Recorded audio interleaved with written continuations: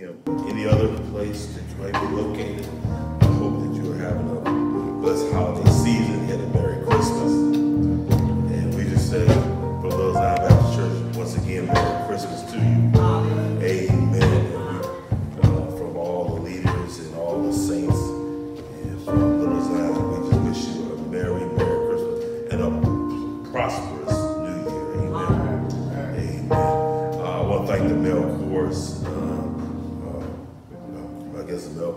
Praise team. Amen. Amen. Because we can't get everyone in here at the same time. We thank God for them. They have rendered our music during, for the most portion of, for mostly all of this pandemic. We had the youth come in a couple of times and the other uh, choirs have supported as well when we was outside. But I want to thank the men for their support as they come in and lead us in worship. I want to thank also Brother Jermaine and Brother Michael, amen, for their diligence, amen, and Sister Janae, amen. Uh, make sure that the ministry can go out even in the form of conference call and also Facebook, um, Facebook Live. So I hope that you are being able to connect with us during this season. I'm praying that now that the vaccine is out, um, that we, a few months from now, as we get all through all that situation, uh, it won't be long before we come back together and be able to worship face to face. Amen. So well, we just gonna continue to pray until then we will continue to be safe, we will continue to be diligent, and we will continue to do what the Lord has called us to do. Um, because guess what? The truth of the matter is souls are still being saved and people are still being encouraged. Amen. I also want to say this before I get into where I want. I said it on intercessory prayer yesterday. I want to thank all the saints for all that they did for Christmas. Uh, I got some pictures back from some of the families. Um, some of the men supported one family. The fatherhood program supported uh, a young family, of a father and his three children. They sent pictures back of what they, some of the things that was given to them. And um, some of the families that got turkeys and, and meals. They were so grateful. And even had some saints, amen, that even cooked the meals for some of them and gave us because they couldn't cook their own meal. I, I, love y'all so much, Little Zion. I thank God for you and, and everything that you do. I just don't believe that you got to put it all over Facebook and have to talk about how many people, 107 folk got saved and 110 folk you fed and all that type of stuff. We, I just thank I thank God for the saints to just do it. Amen. And it don't have to be brought. I don't think Jesus wants us to have to put it out there. 112 people did this and 115 we did, and we had to count everyone that came through the line. Also, just do it. Just make sure we be a blessing to folk and, and minister to folk. And some of the saints, I know y'all done stuff, stuff on your individual. Um, just bless people on your own, in your own way. So that's kingdom. That's discipleship. And that's how we, we win the loss and also help and encourage one another that no one will go in lack. Amen. That all will be blessed. Amen. During this time. So I want to thank all of y'all for everything that has been done and all the blessings that have gone out to many of the saints of the community. Uh, the men helped us uh, a week ago, um, last Saturday. So I got a few of the men to help us move in. A young lady into her new apartment. She got to be in the new apartment. Um, she had nowhere to stay, but now she's in an apartment furnished. We moved furniture that someone else donated them. Couldn't get it to her. We took it over to her and she had not only then when we found out she didn't have anything else, some other saints came in, bought her linen and pots and pans, and they took a turkey dinner over there. Uh, didn't recognize the apartment. She, she's very happy and very grateful for all the kindness that everyone has done towards her and done for her. So you'd be surprised how we touch hearts by just being giving, like Deacon Jefferson said earlier. Um, during this time of season, it seems like people give even even a little bit more, and I thank God for that. I hope we continue to do that all 12 months of the year. And so, um, once again, thank you, Little Zion, and all those ministries that's connected with us and partnered with us to get that done. So, God bless you, and I hope that your Christmas was prosperous and blessed. Uh, let's get into the Word, Amen. Um, if you would turn with me, I want to look at a couple of verses before we get into it. But if you turn to First Peter with me, First Peter chapter 1.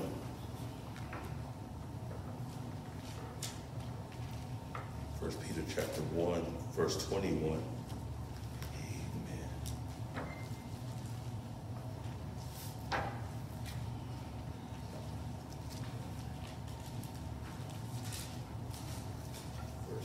chapter 1, verse 21. I, I'll be reading from King James Version this, this morning. Amen.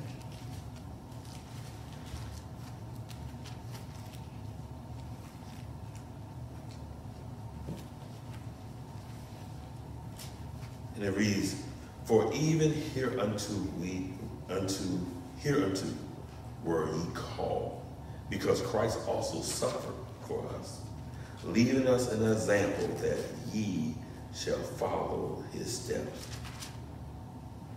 That ye should follow his steps. Won't you turn with me to Ephesians? Amen. And turn to verse um, chapter 5, verse 13. Amen.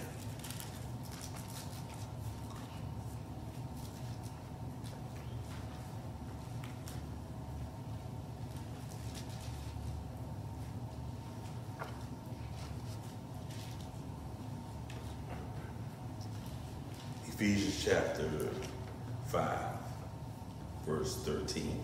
And it reads, But all things that are reproved are made manifest by the light.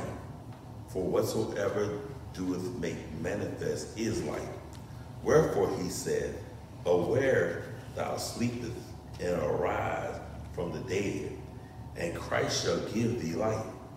See that ye walk circumspectly, circumspectly, not as fools, but as wise, redeeming the time, because the days are evil. Wherefore, be ye not unwise, but understanding what's the will of the Lord is. And be not drunk with wine, wherein is, wherein is excess, but be filled with the Spirit, speaking to yourselves in with speaking to yourself in psalms and hymns, psalms and hymns, and spiritual songs, and singing, making melody in the heart to the Lord, giving thanks always for all things unto God and the Father in the name of our Lord Jesus Christ, submitting yourselves one to another in the fear of God. I, I want to share for you as we go into a new year um, your next step. Your next step. Your next step. Can I pray with you? Dear Father, we thank you for grace and mercy. Thank you for another opportunity for worship. Lord, we pray right now, Lord, that uh, whoever may be watching or listening or even in the sanctuary, Lord, that it would meet their needs as we go into 2021. This is the last Sunday of this year. And so we pray right now for a touch. We ask right now, Lord, that as, even as we go in to a new year, that we go in with a new mindset, a new vision, a new dream, knowing that, Lord, everything that has happened is beyond, behind us now. And there's a fresh new start before us. We ask right now in the name of Jesus that they no longer hear me, but let your spirit speak. And let it be received by their spirit, that they might be the better, might be strengthened, so that they can continue on this journey in a victorious way. We thank you and we honor you. In Jesus' name, amen. Amen. Your next step. One of the, the most difficult things in life is when you get to a point that you are not moving anymore. I remember growing up and I reminisce a lot during this Christmas season uh, with my parents were going on to be with the Lord and my grandparents and going on. And I sat there and looked at my children and I looked at them.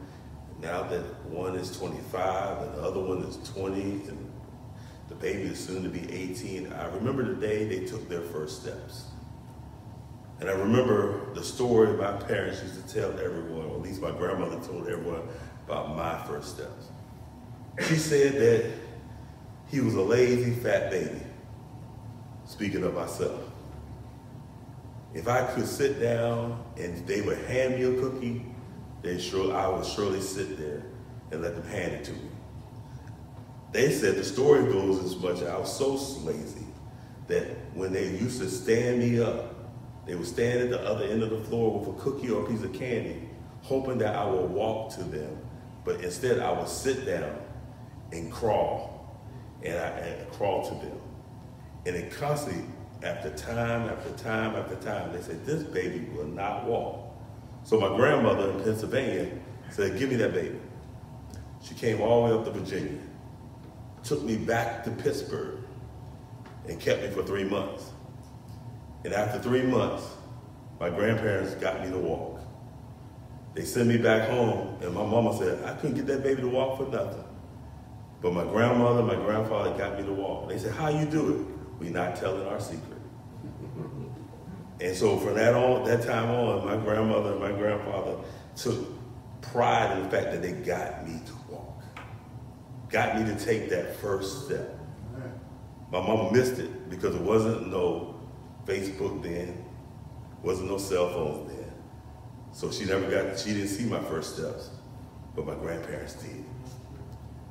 I, I say that because we're in a situation we, we've been sitting for almost nine months. Nine months we have been stagnant and we don't.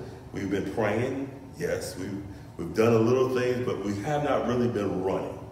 We have not really been moving, spiritually speaking, because of the fact of everything that's going on around us.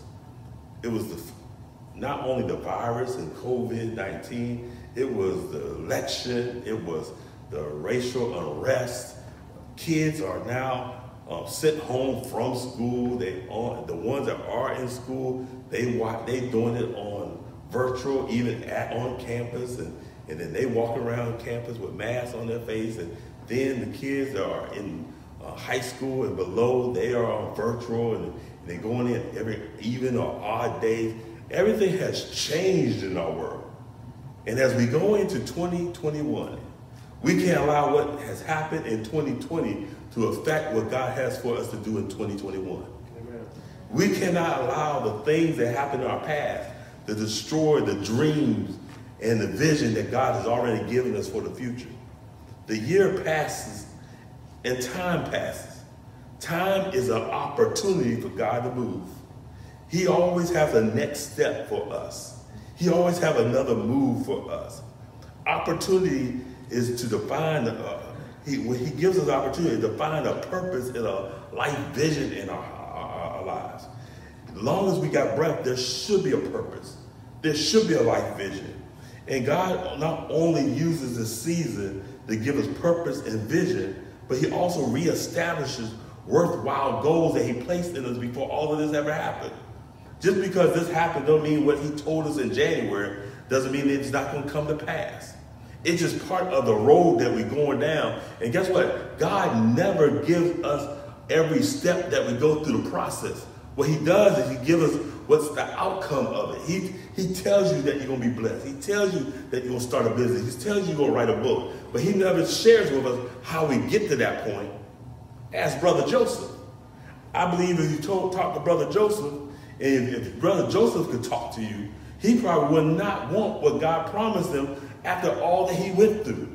He had to go into a pit. And then, and a matter of fact, if you want to get detailed about it, they said that not only him in a pit, and no one ever talks about this, they said the brother probably yearned on him as he was in the pit. So uh, that's all that's nasty, Pastor. But I'm trying to tell you how sometimes the process is not so cute. The process is difficult sometimes. He had to go to prison. He had he went through a whole lot. He was accused of wrongdoing, all to get to the promise that God, God didn't tell him how he was going to get there. All he told him that the end product was that he was going to be blessed and be able to bless his people and his family. No one told us that we were going to have a pandemic. None of us could even imagine that we had to live through this for the last nine months. And may have to go through it for a few more. And but guess what? We're still here. God still has blessed us. Uh, we, we, we, we still are doing well. And, and God has kept us even during this time. He's watched over our children, He's watched over our family members. And, and guess what? God is still God. He's still sitting on the throne with all authority in His hand. And He's telling us to redeem the time. We can't get so caught up thinking that we know everything. We got to let, sometimes you got allow God to reestablish what the goals and the blessings are in your life. One of the other things that he uses in this, when we talk about, when we talk about moving on and moving into a new year, he uses a new year as an opportunity to bury your past. That's why you got to learn how to let some things go. You can't hang on to hurts of yesterday. You can't hang on to things that, that, that bothered you or hurt you in the past. You got to let those go and move forward, move on, because God has better for us. Now, there's a difference here. The scripture talks about here in the scripture, especially in Ephesians, it talks about wisdom. And, and let, me, let me just define wisdom is applied knowledge. There's a whole lot of people that, that, that, don't have wisdom. People have, we have people, we know people that have knowledge. We have, know, we got people that have understanding, but we don't have a whole lot of people with wisdom. I'll give you a good example of this. I, I, I see this happen a lot. I've been going to MCV or going to some of the hospitals, and then I see doctors and nurses outside the hospital smoking a cigarette. They, they have knowledge knowing what a cigarette does to your body, but they out there smoking it. That's lack of wisdom. You, you know what it does to you, but you're not applying it to your life. And I, I, think if God's going to bless us in the next season of life, what we have learned through our past, we have to learn, make sure we apply it in wisdom and not just say we know it. Amen, somebody. Knowledge is information. That's what's wrong with some of our children.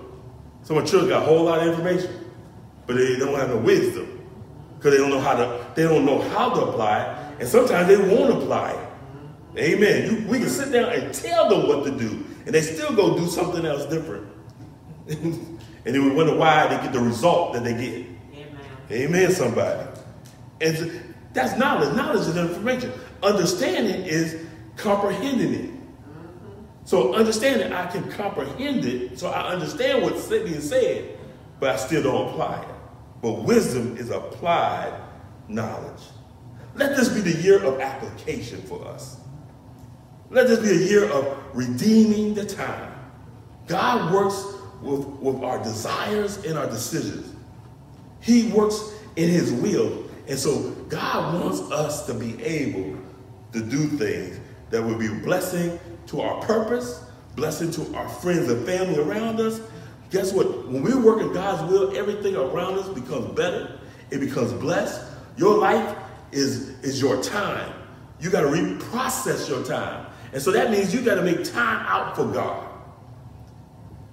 John 8 and 45. It says that, that Jesus, and just to paraphrase it for a minute, it, well, let me, I'm going to turn to. John 8 45. If you turn with me, amen. If you're there with your Bibles online, John 8 45. 54 times in the Bible, Jesus makes this statement. And I'm going to tell you what the statement is in a minute. Amen. 845. St. John. And what he says here, he is speaking to I'm going to start at verse 44. He said, Ye are the father of the devil and the lust of the Father ye will do. He was a murderer from the beginning, and abode not in the truth, because there is no truth in him.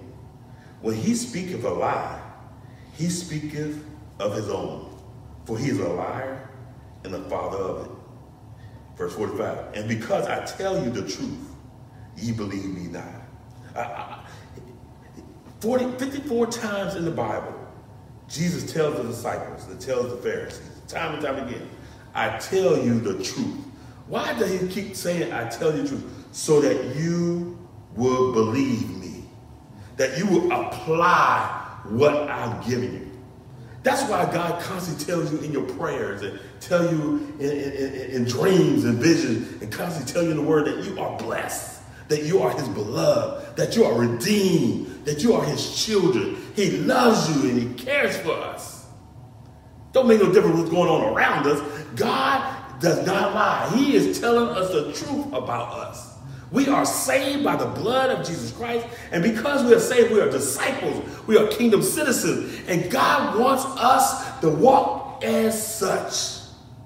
Your next step your next step is walk in the power of God. Your next step is make a move for God. Your next step is not to cry about what's going on, but your next step is give God glory and give him praise and worship his name. I don't care if you're in the kitchen or in the sanctuary. I don't care if you're in the prayer closet or even in, in, in, in the kitchen in the church. I don't care if you're on the grounds or at home. You are called to give God glory all the time. God calls us for the season as we go into the new year, not to cry about our past and what has gone on, but instead stand up and give God glory for all that He's done. He has kept us and He has washed us and He's made us whole, even during this season. Yes, we lost some loved ones. Yes, maybe our money a little funny. But guess what? You're still here. Yes, you are. You still got breath in your body. And God still have a purpose and a plan for your life. I don't care if you're six or 96. If you're still breathing, there's a plan for your life. There's a purpose for your life. You can't retire from God. You can't retire from his glory. You can't retire from worshiping him. God has a plan for all of us. He died on Calvary for our sins so that we can call him our Lord not just call him God. A lot of folk call him God, and they put a little G in front of it. But when you make him Lord, he is a center of everything you do and touch. Let me just share four things with you. If you want, if you to really be blessed during the season, you got to redeem the time. What, what, what you mean by redeeming time, Pastor? You got to make the best use of your time now. Redeeming the time, all you basically you're saying when you redeem the time, you saying now time is precious. You can't let other folk be a parasite and suck up your time. There's some folk that will do nothing but burn up your time.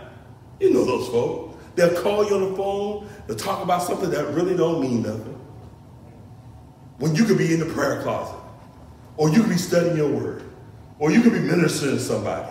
You could be doing something more valuable than sitting on gossiping about somebody else. See, when you're talking about redeeming the time, you got to make sure Jesus in three and a half years saved the whole world. Let me ask you this question. What have you done in your 40, 50, 60, or 70 years? Three and a half years, we're still talking about Jesus 2,000 years later. And folks are still getting saved. That means I don't need a whole lot of time. I just got to make sure I make the best use of my time. When I talk to someone in the grocery store, it's kingdom minded. it's about them coming to the saving knowledge of Jesus Christ. It's about pouring something into them to, to encourage them and strengthen them and make them feel like they are, they are worthy and valuable in God's eyes. It's not about, ain't about me going to the restaurant to make people mad and angry because they didn't give me my French toast fast enough. Or it got to the table and got too cold. And I, instead, I caused more confusion than also encouraging and lifting up folk.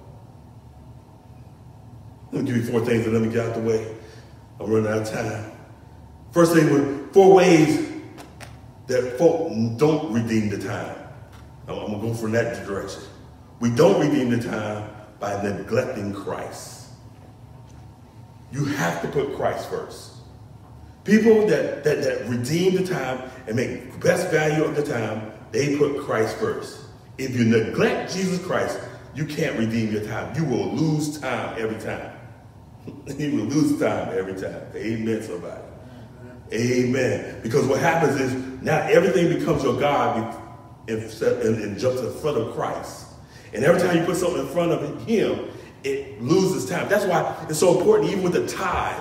The tithe is the first 10% off the top. It's not just 10%. It's the first 10%. And what it does about the tithe is when you give him your first, he blesses the other 90 and stretches the 90 to do more with it. When you give him your time first, that means when you wake up in the morning, the first thing you do is pray. The first time you do, when you get up in the morning, not pick up your cell phone, not turn on the TV and watch Sports Center, but the first thing you do is get up and get in the Word of God and pray for what God does. He blesses and stretches the rest of the day. He orders your day. He gives you discernment and gives you wisdom so that you will be able to apply it during the course of the day. Christ had to be first. Number two is this. We, um, we don't redeem the time by trusting in our own abilities. We don't redeem the time by trusting in our own. In other words, your abilities does not make you have more time. Some people think the more gadgets you got, the, the iPhone and all this, you use all the gadgets, and, and, the more books I learn, the more that I can, I can make my time stretch. No, you, we don't have the ability to, to redeem the time. We don't get the ability to bring back more time or make time longer for us. What it does, it burns us out. The more we try to work out things, guess what? It gets wrapped up, gets crazy. Our lives get crazy. I, I know for myself, the more things I put on my plate, the worse it gets. And I think I'm organized. I got me a day runner over here, and I got a calendar over here, and I got it on my iPhone and, and iPad over here. And guess what? It's still, I, when I go to sleep at night, I forgot to do something. Something I was supposed to do didn't get done. And maybe, sometimes it's major stuff. You wake up in the morning, you find out, oh man, I forgot to pay a bill. Oh man, I forgot to such and such, such and such. Now I gotta run, and so it messes up the next day. Amen. Because I didn't put Christ first. And when you put Christ first, everything works out. But when you try to trust in your own ability to make things to redeem the time and make things worse, make things work, you try to take the place of God. The third thing you don't, uh, we don't redeem the time while we living in sin. You must repent.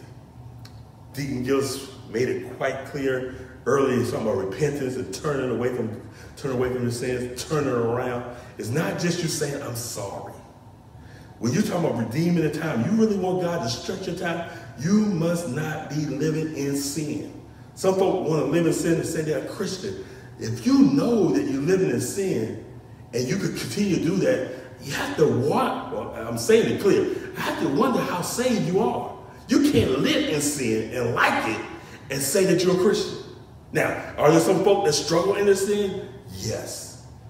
But they're struggling with it and they're trying to get it out. They're trying to work with it and they hate the situation they're in. But if you love sitting in it, you have to wonder if you're saved. Because you can't love being around sin and love a holy God at the same time. It, that's a conflict of interest right there. You, something you, you if you're going to be committed totally, and we talk about covenant, covenant renewal.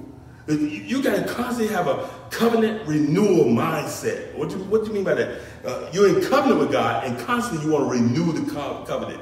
Constantly want to make sure the covenant is stronger than what it was before. For example, me and my wife been married for 27 years. I gave her another ring. Well, what, what, what, this Christmas, I gave her another ring because of that to renew our covenant.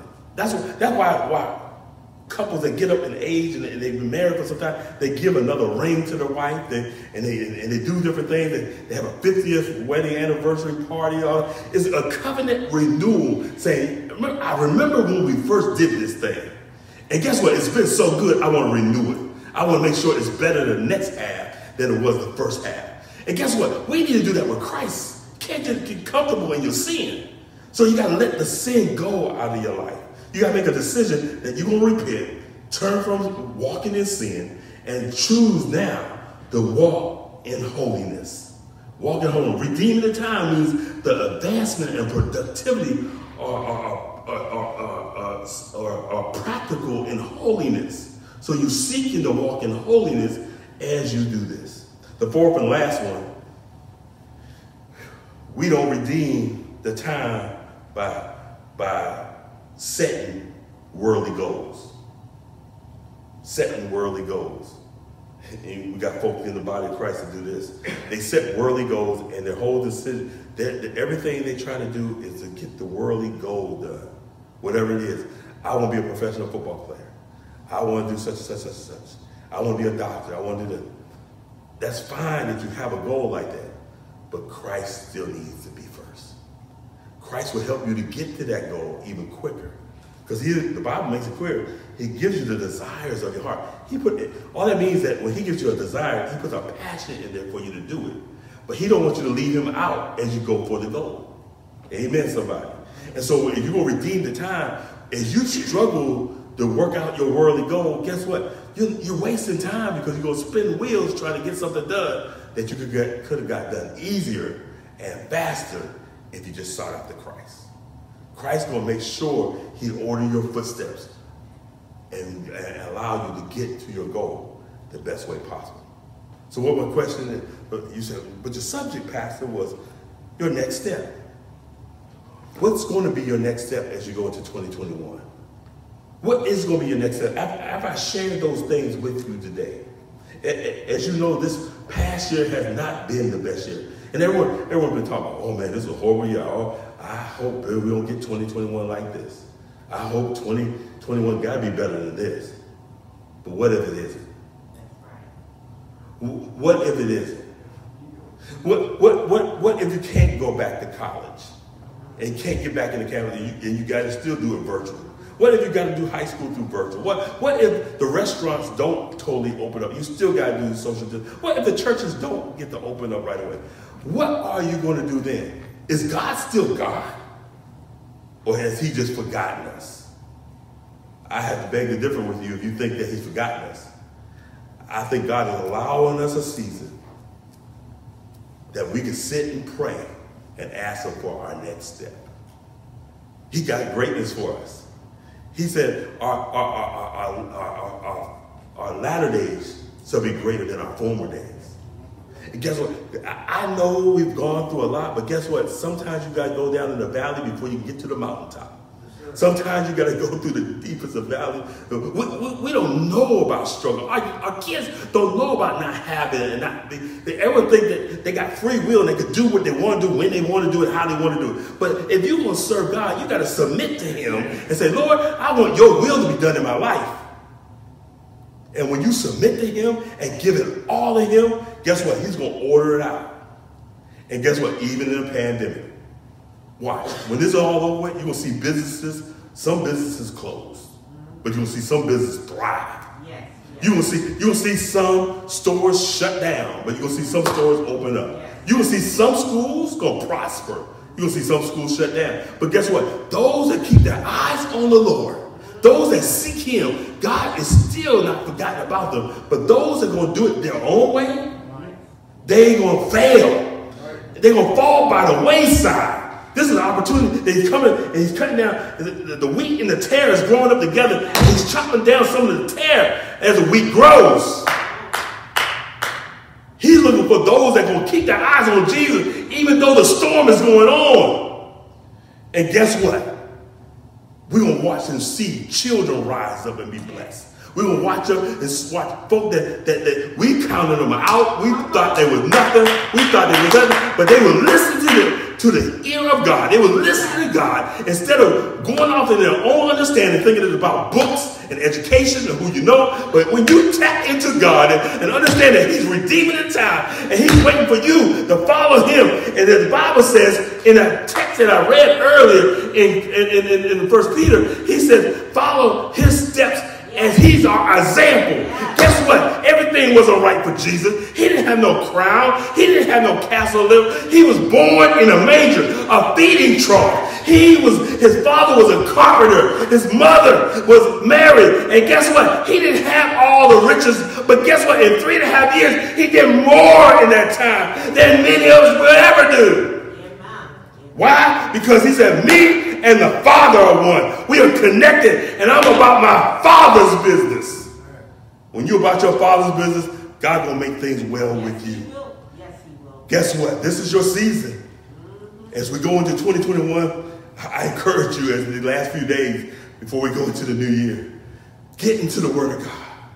Ask the Lord what your next step is. He has another step for you. You can't sit there and watch the TV set and wait for the stimulus package to come. You can't sit there and wait for someone else to be able to come and give you what only God can give you. guess what? God loves you. He cares for you. He wouldn't send his son into the world to save you and just leave you to die. I want to encourage you today. Make this the best day of your life by taking your next step in Jesus.